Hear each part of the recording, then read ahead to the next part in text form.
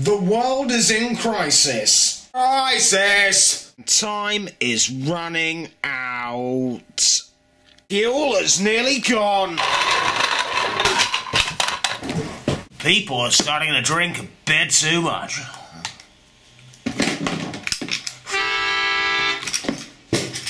And technology is rolling out of control.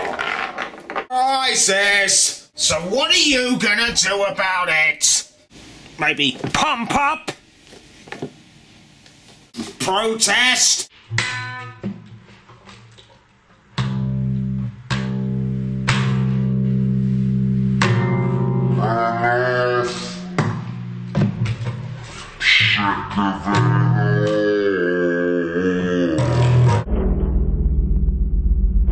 Hello? Is that the Prime Minister? Yeah, I've got a question for you. What's going on?